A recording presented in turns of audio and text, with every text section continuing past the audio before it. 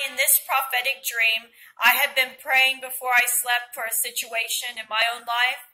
And um, when I fell asleep, God the Father spoke real loud and he was speaking to one of his angels, and his angels was named Venus. And he said, Venus! And he was real happy and like jolly. You could hear the, the, the um, joy in him and and uh, the majesty in him. But I got to hear him um, speak to his angel to send them out for this uh, particular situation I have going on. But the thing that I'm letting you all know is you can do the same thing. You may not hear or see the Father, or some of you may, but you can decree or send those holy angels out to your situation on earth that you're having trouble with.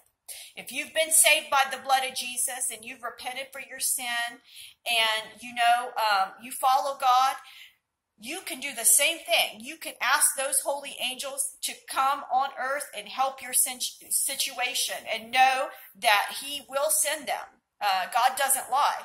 So when you say, Jesus, please, you know, decree the holy angels to help me, um, send them, Lord.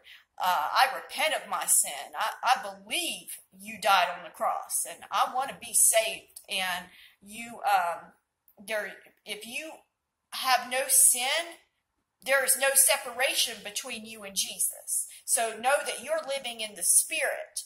Uh, you have passed from darkness to light. So the reason you're here is to help along the kingdom of God, which is which is speaking about Jesus, telling about telling others about Him, and um, speaking the word and decreeing help when needed, and praying. Be a prayer warrior. Okay, thank you.